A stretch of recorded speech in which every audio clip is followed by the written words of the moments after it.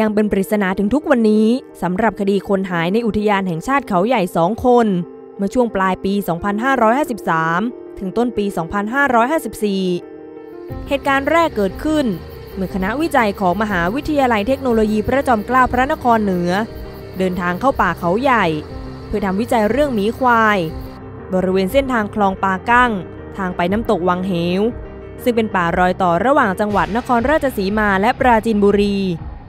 โดยคณะได้เดินทางไปวันที่ 27 ธันวาคม และกลับลงมาในวันที่ 30 ธันวาคม 2553 แต่มีหนึ่งคนในคณะไม่ได้กลับลงมาด้วย คือนายอุทัยชัยกูชิน อายุ 28 ปี คณะวิจัยระบุว่านายอุทัยได้ลงมาจากป่าเขาใหญ่ก่อน เพื่อนำเสบียงกลับขึ้นไป มันเกิดอะไรขึ้นกันแน่ นายอุทัยหายไปไหน นายพลึกแก้วสีขาว หัวหน้าเขตอนุรักษ์ที่สองซึ่งเป็นหัวหน้านายอุทัยลำดับเหตุการณ์ให้ฟังว่านายอุทัยเป็นลูกจ้างกรมอุทยานมาประมาณ 5 ปี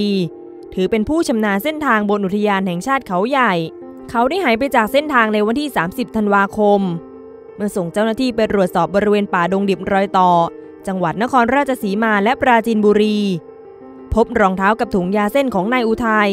บริเวณน้ำตกแก่งหัวหมู แต่กลับไม่พบตัว แต่เมื่อสอบถามคณะวิจัย กลับได้ยินเรื่องเล่าแปลกๆ ระบุว่า เห็นนายอุทัยมีท่าทีคล้ายคนเป็นไข้มาลาเรียขึ้นสมอง ไม่ยอมกินข้าว 3-4 วัน ดูมีอาการเบลอๆก่อนจะหายตัวไปนายอุทัยบอกว่า จะออกไปตามหาผู้หญิงสามคน ซึ่งไม่รู้ว่าผู้หญิงสามคนนี้คือใคร อาจจะเป็นภาพหลอน จนทำให้นายอุทัยหายตัวไปในที่สุด ที่ผ่านมาเคยเกิดเรื่องประหลาด เมื่อปี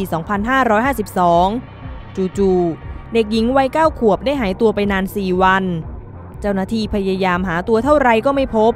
แต่เมื่อมาจุดธูปสักการะเจ้าพ่อเขาใหญ่ จากนั้นก็พบตัวที่โขดหินบริเวณน้ำตกรองแก้ว ในขณะที่เด็กหญิงวัยเก้าขวบ ระบุว่าเธอนั่งอยู่บริเวณดังกล่าว 4 วัน ก็ไม่เห็นหรือได้ยินเสียงเจ้าหน้าที่ เห็นแต่สัตว์นานาชนิดผ่านไปมา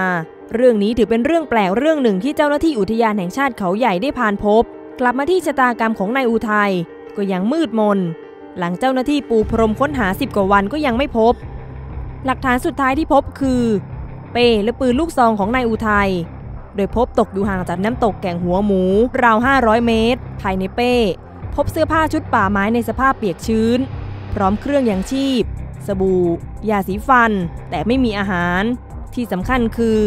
ยังพบนั่งร้านที่ถูกสร้างขึ้นใหม่ โดยแก๊งลักลอบตัดไม้ ซึ่งคาดว่าอาจจะถูกแก๊งมอดไม้เหล่านี้จับตัวไป 24 มกราคม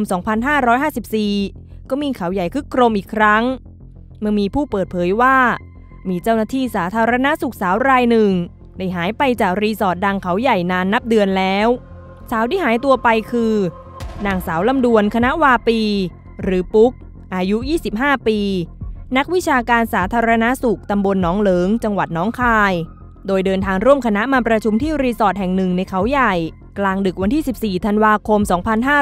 2553 เพื่อนร่วมห้อง เห็นลำดวนสวดมนต์ก่อนนอน ซึ่งสวดเสียงดังและนานมาก แต่เธอก็ไม่ได้สนใจ จากนั้นก็นอนหลับไป เมื่อตื่นขึ้นมาลำดวนได้หายออกจากห้องไปแล้ว ทิ้งกุญแจรถ กุญแจสถานีอนามัย และโทรศัพท์มือถือไว้ เมื่อตรวจสอบกล้องวงจรปิด พบลำดวนออกจากห้องช่วงตีสี่เธอเดินวนเวียนอยู่ในรีสอร์ทหลายรอบ กระทั่งเดินหายออกไป จากนั้นญาติของนางสาวลำดวน จึงได้เข้าแจ้งความเพื่อค้นหาตัว ญาติได้พึ่งร่างทรง ระบุว่า เธอยังมีชีวิตอยู่ โดยอยู่บริเวณทิศตะวันตกของศูนย์เฝ้าระวังไฟป่าเขาใหญ่ เมื่อไปตรวจสอบพบจุดดังกล่าวเป็นเหวด้านล่างพบรอยเท้าหญิงสาว แต่ระบุไม่ได้ว่าเป็นของใคร เจ้าหน้าที่แบ่งทีมค้นหา 3 จุด พบชาวบ้านคนหนึ่งบอกว่า เห็นผู้หญิงคนหนึ่งคล้ายกับลำดวน เมื่อเข้าไปทัก ผู้หญิงคนดังกล่าวก็แสดงอาการหวาดกลัวแล้วก็วิ่งหนีไป ต่อมาเจ้าหน้าที่พบรองเท้าส้นสูงและกระเป๋าสตรีหนึ่งใบ ภายในกระเป๋า พบกระดาษฉบับหนึ่ง